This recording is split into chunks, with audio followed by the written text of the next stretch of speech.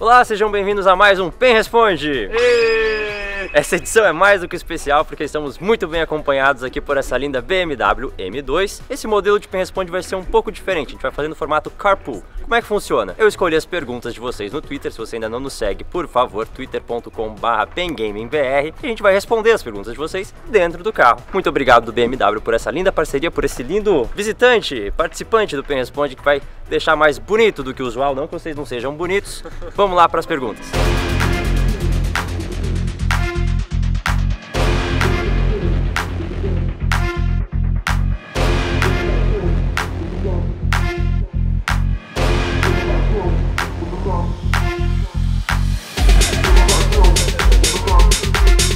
Pessoal, como a gente tá num carro e não dá para colocar todo o time num carro de uma vez só, a gente vai fazer em duplas esse Pen Responde. Mas a primeira pergunta já vai pro Carioca, pergunta do ladrão de almas. Carioca, você que é um jogador referência na posição, hum isso já sabe. Como você se mantém informado sobre o meta da jungle? Quais campeões são ou não são opções válidas naquele meta? Em quais situações? Solo kill e competitivo? Você considera isso crucial para um jungler se tornar um bom player? Estudar esse tipo de material? Como é que você faz? Qual é o seu processo? Cara, eu considero sim. É, normalmente a gente vê os bonecos que estão fortes na solo kill, mas a gente tem que ver se eles são bons pro competitivo também, porque não é porque um boneco tá se destacando na solo kill que ele vai ser bom pro competitivo. Uhum. É, depende muito do kit dele, como ele se encaixa em composições. Então acho bem importante qualquer pro player saber os bonecos, pelo menos da sua, da sua lane.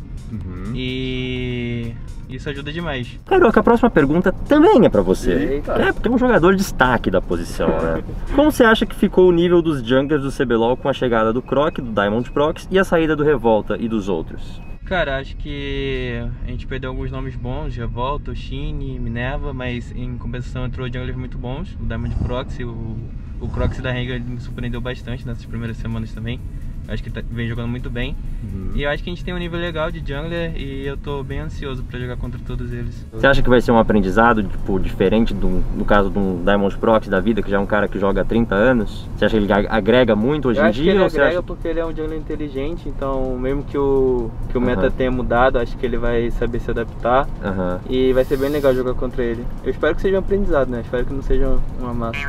não, vai ser um bom aprendizado. Não, pode ser um amasso nosso. É, da minha parte. Ele que tem que aprender com você, cara. Sim, sim, ele tem que aprender. Robô, pergunta pra você Eita, do lance. Go Pain Forever. Como se joga contra a Gwen e quais são os melhores picks contra ela? Por que, que ela é tão forte? Cara, a Gwen ela tá bem uh, desbalanceada mesmo no top. Ela é um campeão que ela dá muito dano. Então o E dela ela ganha alcance, tem um gap closer, ela tem um dashzinho que vai na sua distância. Além de muito dano, ela se cura demais. Então ela é um campeão muito dominante. Ela não precisa usar o flash, porque é difícil você gankar ela também. Uh, ela tem muito sustain por causa da build. Ela dá muito true damage, muito dano real. Você sai de Dora, ela tem velocidade de ataque, então ela. Enfim, ela é um campeão completíssimo, bem, bem forte mesmo. Uhum. Ela não tem muita, muita resposta. Você pode jogar, por exemplo, com Tryndamere, com Gangplank, se você quiser ganhar dela, num contra um ali. Mas uhum. em geral, ela tá um campeão bem forte. Ela consegue ficar tranquila também contra esses campeões. Um Wukong, você vai de Ignite também em vez de Flash, vai de ter Teleport Ignite. Dá pra você ganhar dela porque você precisa ter aquele corta-cura. Se você não tiver um corta-cura, você vai de base.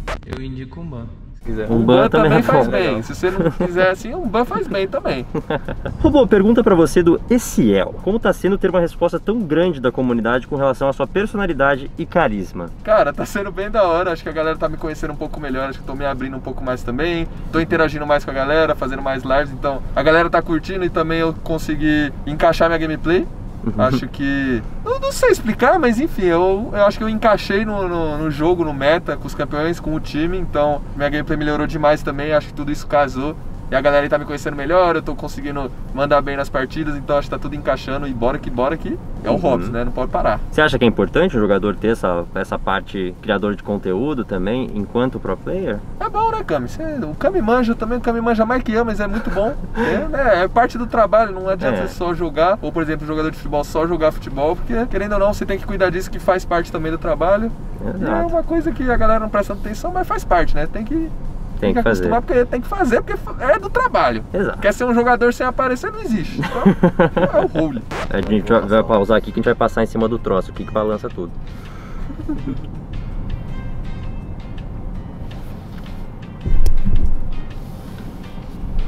Safe.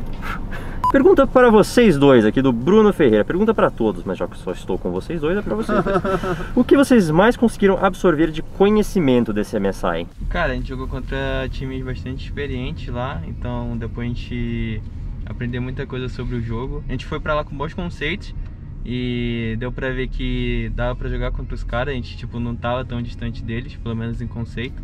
Uhum. No geral, acho que eles não são tão diferentes da gente, acho que eles são talvez um pouco mais disciplinados, tipo, eles não erram muito na, na condition, nessas coisas. No geral, acho que a gente aprendeu sobre disciplina, Acho que mais sobre disciplina mesmo. Uhum. É, acho que a gente aprendeu como lidar melhor em situações talvez pouco complicadas, como uh, criar uma vantagem maior a partir da vantagem que a gente tem, como conseguir uh, ganhar o jogo sem precisar sair matando todo mundo, ou daivando, ou ganhando um contra um, mais jogando no jogo coletivo, respeitar também, jogar melhor com o Carioca, jogar melhor em time, team uhum. fights, uh, como jogar um objetivo, muitas coisas, acho que quando você joga contra times experientes, o Kami também sabe bem disso. Uhum. Você aprende bastante porque os times realmente eles não erram tanto, então Sim. você precisa ser bem proativo e bem certo no que você faz, que se você comete um erro, eles vão te punir e o jogo vai complicar bastante. É, e você vê que em pequenas vantagens os caras conseguem fazer o jogo muito difícil, então você tenta não errar e você tenta punir eles da mesma forma. Acho que esse é o principal. Mas quer dizer, não é um bicho de sete cabeças. Tipo, o pessoal acha que você vai jogar lá fora, os caras dão mais dano, tomam menos dano. Não, tem é, isso, né? É o mesmo não. league, né? É o mesmo jogo. Ele só... é, é, o mesmo campeão, só que os caras não fazem né, as coisas meio erradas. Eles é. sempre, assim, erram muito pouco. Muito difícil os caras errarem, mas... Acho que a coisa que eu mais percebi é que muita coisa que a gente precisa pensar para fazer aqui, para eles não é tão é automático. Exato, né? eles já é. sabem. Então eles meio que Concordo. Eles têm uma vantagem de tempo de pensamento, eu acho que ele que é, é difícil de é, bater. Acho que até a lane phase deles é bem diferente da, do, do jeito que, o, que a galera aqui no Brasil joga a lane phase, é bem diferente. Eu, eu particularmente acho que deu para perceber nessa primeira semana, mudou um pouco o jeito que eu jogo a lane, o jeito que eu tô me movimentando no mapa e tal. Que é uma coisa que eu aprendi lá também, porque eles jogam a lane realmente diferente. O foco deles é outro na lane, né? Tipo, é os caras às vezes não quer só ganhar a lane, tipo, matar o Sim, outro lane. Ele, exatamente. Às vezes ele quer pegar uma pressão para poder ajudar o jungle. Tipo, ele sabe jogar muito bem com a lane, com jungle. Então esse é um bagulho que a gente aprendeu bastante lá. Muito bem, trocamos nossa dupla, agora estamos aqui com o BRTT e com o Lucy, nossa linda bot lane. BRTT, pergunta para você do Rauseira. Sabemos o quanto você é bom de Jin e que gosta do boneco. Você acha que ele tem chance de aparecer ou tá muito fora do meta? Cara, o Jin é um boneco que pra mim sempre pode aparecer. Uhum. É, eu costumo dizer que ele na minha mão, assim, ele é um hyper carry. A uhum. galera fala que o Jin não é hyper carry, mas na minha mão ele é hyper carry. Então, se a gente achar que dá pra usar, que tem alguma oportunidade boa, a gente não vai ter problema nenhum utilizar, porque como você falou, eu gosto bastante dele, então vocês podem esperar que vai ter algum joguinho de Jin no CBLOL provavelmente. Lucy, do you like to play with Jin as your AD carry? Jin? Yeah, yeah. You support BRTT Jin. My most favorite champion is Jin. Like he's like sniper, you know, Brazil sniper. What about Draven? Ah, it's always good. O Draven é na mesma pegada? Pode aparecer a qualquer momento. Ah, o Draven é muito mais fácil de aparecer, né? Lucy, question from I don't know how to say this person's name. Your support pool lately is following the meta, yeah. but still, do you feel like you want to play something else, like uh, maybe Lulu or Shen or? It will be like uh, Mesa support meta soon, like. Mm. So I'm like trying to practice like Karma or Lulu, something like that. Uh -huh. so maybe soon you, you guys will see. Ah. And which one do you think is the strongest? Maybe Lulu? For me, Karma is better. Ah, really? Actually, Karma is his best champion. Mm. What do you guys think about that Cog Lulu when the Cog goes tank build? Do you think it's strong? It's too much, dude. I would never do that. It was night, night, nightmare? In solo queue, it's always win. Então, o que, que você acha que foi o maior conhecimento de, que vocês adquiriram nesse MSI? O que, que mais engrandeceu?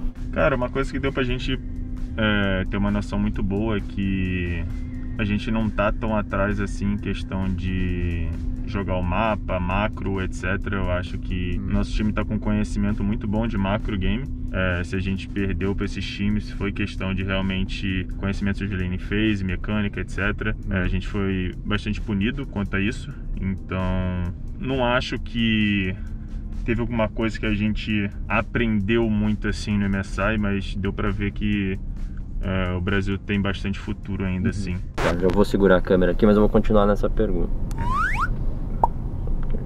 BRTT thinks that he realized that we're not, we're not so far behind other teams and that we could have won. Do you agree?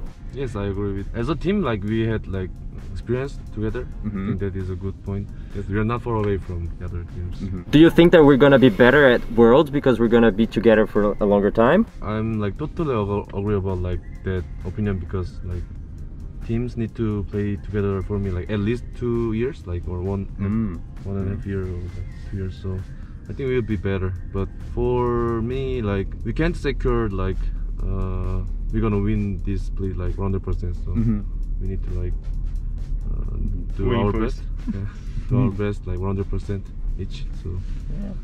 You guys are gonna win. Be cheering for you. Nossa próxima dupla aqui de estrelas, BRTT e Tinons. E a gente já vai começar com uma pergunta que eu acho muito boa. Eu vou fazer pro BRTT, mas Tim, se você quiser responder também, eu acho que faz todo o sentido. É uma pergunta que o pessoal tem muita curiosidade. Qual que é o limite estabelecido entre conforto e afinidade com o campeão e aquilo que tá forte no meta? Cara, eu acho que não tem, tipo, um, uma fórmula assim, tá ligado? De tipo, ah, 30% isso, 30% conforto. Eu acho que, com certeza, o que a gente leva em consideração é a semana de treino, né? A gente utiliza esses campeões na semana de treino e tal. Um dia antes, dois dias antes, a gente já vai começando a fechar o draft, então a gente já tem mais ou menos é, pré-setado ali o draft que a gente vai fazer no fim de semana, então não tem muito muito mistério assim na hora do jogo. Mas quando é uma melhor de 5, quando acontece coisas que a gente não tá esperando e a gente tem que decidir na hora ali alguma coisa diferente, aí a gente puxa mais pra parte do conforto ou coisa do tipo. Senão, é muito do meta. E é claro que no treino, o treinador ou o jogador vai falando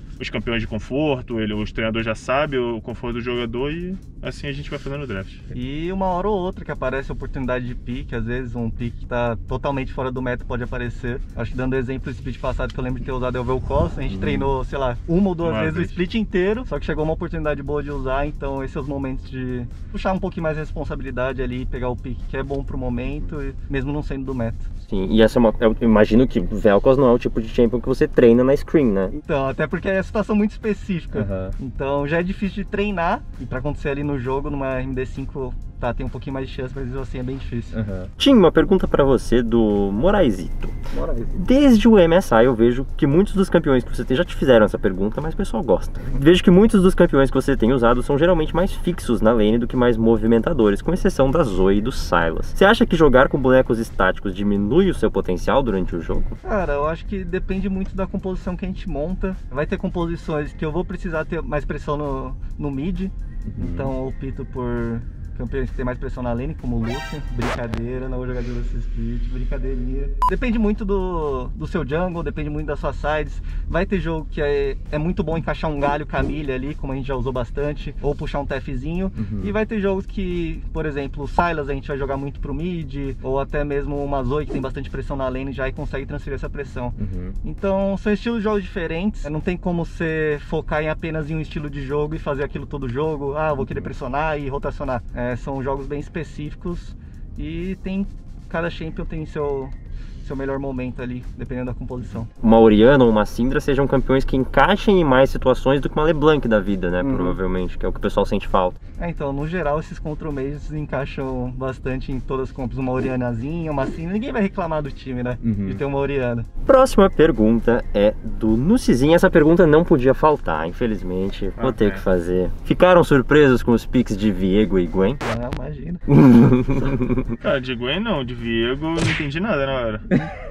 E quando eu vi a nossa comp ainda, porque a gente fez uma composição que tinha, entra... tinha que entrar neles. A gente tinha, não tinha muita range, a gente tinha Nautilus de engage. Contra a Gwen, um bonecão que tem aquele W ali e o Viego pegando reset.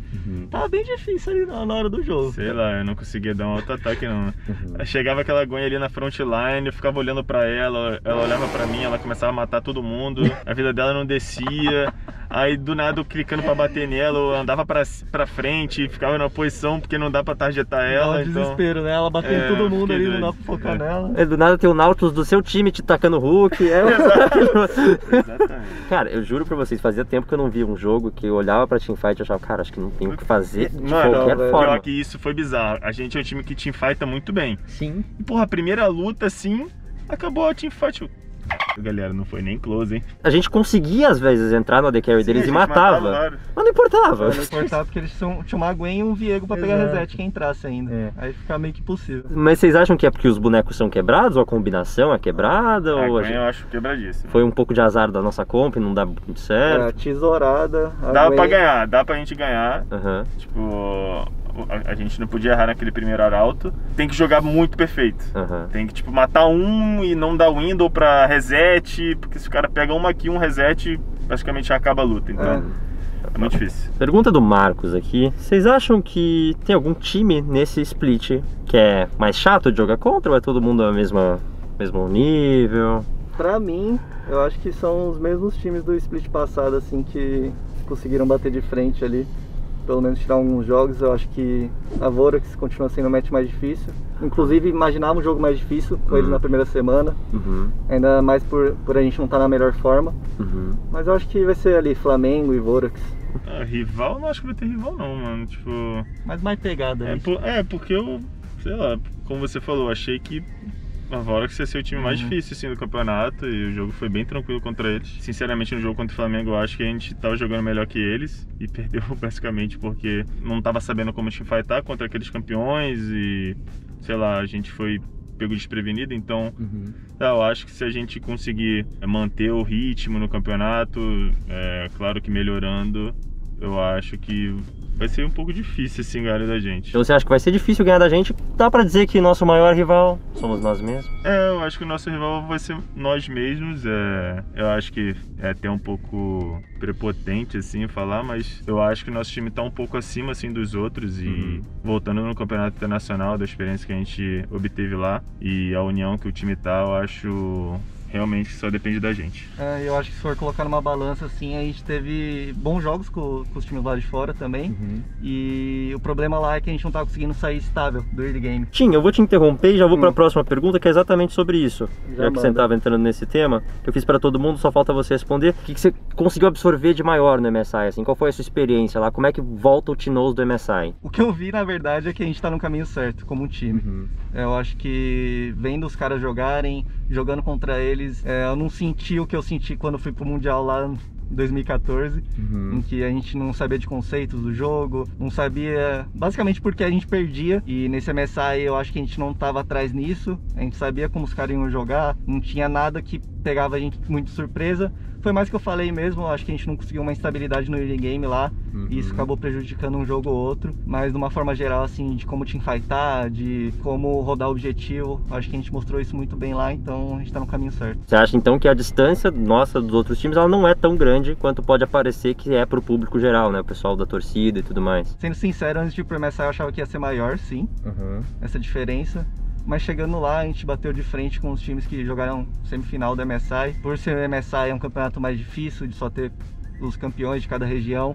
Então achei que seria um pouquinho, teria um pouquinho mais de gap ali. Mhm. Mas no final a gente viu como foi, teve alguns jogos mesmo a gente juntando nossa melhor forma. Acho que a gente demorou um pouquinho pra se adaptar lá também. Mhm. Então acho que tem jogo sim, velho. A laning phase é muito mais difícil? O que eu senti lá é que, tipo, aqui no Brasil, por exemplo, eu consigo dar blind pick TF. Lá fora, se eu dou blind pick TF, o cara vai me punir de alguma forma. Entendi. Então, tem picks que são muito arriscados lá que eu conseguiria usar aqui no Brasil, só que lá fora provavelmente seria punido. Em, em níveis mais altos, então, essas questões mais delicadas de drafts causam um impacto dentro de Sim, jogo, sim. mas entendi. Lá qualquer errinho eles, desde draft como dentro de jogo. Bot, cara, bot é surreal a diferença de tipo botinha europeia, coreana, etc. Tipo, nunca eu imaginei que eu ia morrer naquele level 1 contra os turcos. Nunca. Contra Listar e Samira, porque é uma lane muito fraca, level 1. E a gente simplesmente só morreu. Eu fiquei tipo, ah, o que, que foi isso? Aconteceu aqui.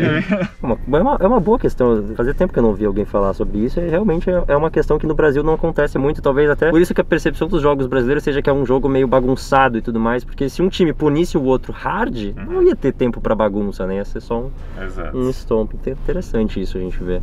Pessoal, chegamos ao fim desse Pen Responde.